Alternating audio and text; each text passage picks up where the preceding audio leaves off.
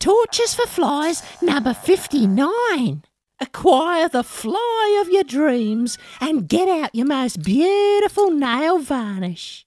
Paint the ends of his tinsy wincy tootsies. Give him a nice, long, thorough blow job before sending him packing. Life without you just won't be the same for him. See how far he'll get without a good woman to support him. Watch him fall for the next floozy that comes along. It's always the rebound crush that gets them in the end.